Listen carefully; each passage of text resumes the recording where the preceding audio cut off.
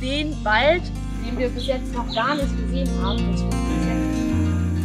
Für mich ist die Bildungsarbeit, die die UNESCO-Richtlinien vorschreiben, der eigentliche Sinn von UNESCO-Weltnaturerbestätten.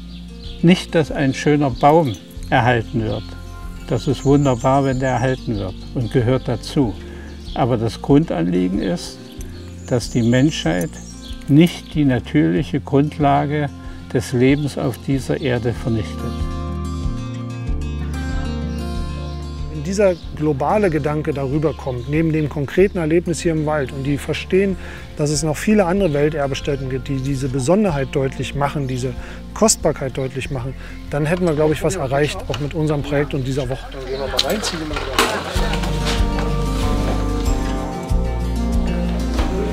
Jetzt könnt ihr die verschiedenen Richtungen sehen und natürlich da drüben, sozusagen, wo das Feld endet und der Hügel ein bisschen ansteigt.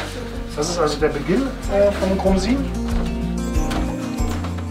Das Ziel dieser Welterbe-Bildungswoche ist es, den Jugendlichen hier aus der Region das Weltnaturerbe vor ihrer Haustür sozusagen zugänglich und erlebbar zu machen. Denn wie wir heute gesehen haben, obwohl es so nah ist, kennen viele das eigentlich gar nicht.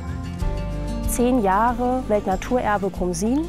Das feiern wir in diesem Jahr und deswegen nehmen wir dieses Jahr insbesondere zum Anlass, um nochmal verschiedene Formate, Ideen, auch gerade in Bezug auf Bildungsarbeit zum Krumsin auszuprobieren und dann zu gucken, was hat sich bewährt, was hat sich vielleicht weniger bewährt und was davon möchten wir dann verstetigen und einfach auch zukünftig regelmäßig dann anbieten. Wie starten wir und dann? Wenn man keinen persönlichen Bezug dazu hat, sozusagen, dann ist, und das ist sehr menschlich, das Interesse meistens sehr gering daran.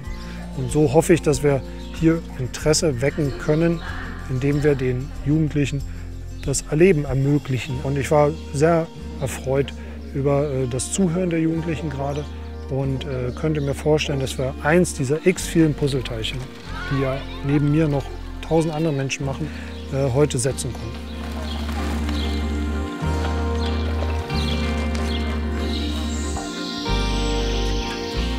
Wir sind ähm, auf allen möglichen Wegen unterwegs gewesen. Wir sind zu Fuß unterwegs gewesen, mit dem Fahrrad unterwegs gewesen. Eigentlich stand diese ganze Woche unter dem Motto Biosphärenreservat, Mensch und Natur. Das heißt, wir haben uns den Buchenwald angeschaut, aber unter dem Aspekt, wer lebt und arbeitet dort. Und das Ganze hat eigentlich dazu geführt, dass wir uns auch in Diskussion begeben haben. Was bedeutet es eigentlich aus Wirtschafts- Perspektive auf diesen Grumsin zu gucken. Was denkt der, der, äh, der Naturschutz dazu? Oder was denken Anwohner dazu? Wenn ich diese Reihe so angucke, dann sehe ich zumindest eine große Gemeinsamkeit. Erkennt ihr die auch?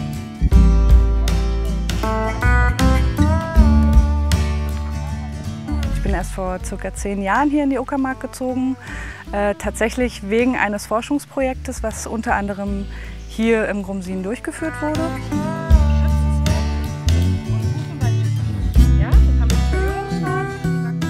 Klassischer Wirtschaftswald. Ähm, ein Wald, der jetzt schon seit über 120 Jahren nicht bewirtschaftet wurde, sieht so aus.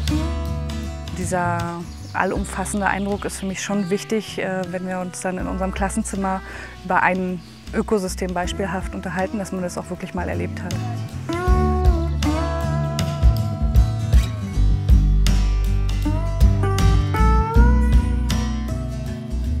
Nada Brahma, das Sprichwort ähm, aus dem Indischen, die Welt ist Klang, alles ist Klang. Das ist, was ich auch vermitteln will. Und wir klingen, wir sind Teil der Natur. Wir entscheiden mit unserem Verhalten, wie die Natur sozusagen überlebt oder aussieht, was sie für eine Zukunft hat. Genau, einfach sich sozusagen als Teil des Ganzen zu verstehen. Das ist, glaube ich, das Ziel. Aber das ist genau.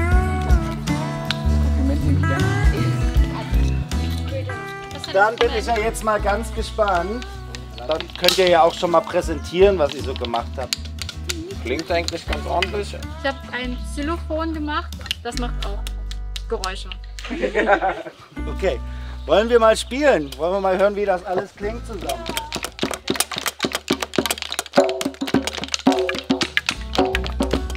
One, two, three. Yeah. Also am Montag fand ich das cool, dass wir da mit dem Bürgermeister auf den Kirchturm gegangen sind. Und da fand ich die Aussicht schön. Generell so den Montag fand ich cool. Wir haben am Mittwoch auch noch so ein Planspiel gemacht, wo wir uns in verschiedene Gruppen geteilt haben. Im Grumsiner Forst gibt es so eine Kernzone und die sollte erweitert werden und dadurch sollte ein Weg führen. Und darüber haben wir so diskutiert, warum das gut wäre oder warum nicht. Gerade das, was jetzt diesen Nationalpark betrifft, das fand ich interessant. Also wie viele Meinungen man da berücksichtigen muss, bis man irgendwas entscheidet. So. Also das ähm, Fahrradfahren hat mir am besten gefallen und das Musikinstrument selbst machen. Ich habe jetzt eine Flöte gemacht. Für die Schülerinnen und Schüler möchte ich, dass sie vielleicht noch mal an diesen Ort zurückkehren und andere mit hinnehmen und mit Begeisterung dabei sind.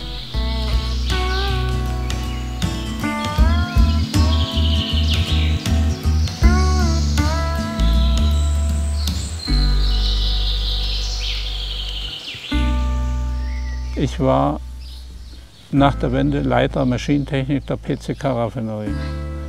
Ich bin mit, wenn man so sagt, mit Verstand, Seele und Herz ein Maschinenmann. Wenn Sie hierher ziehen und einer schönen Stelle leben können, Sie können sich der Natur nicht entziehen.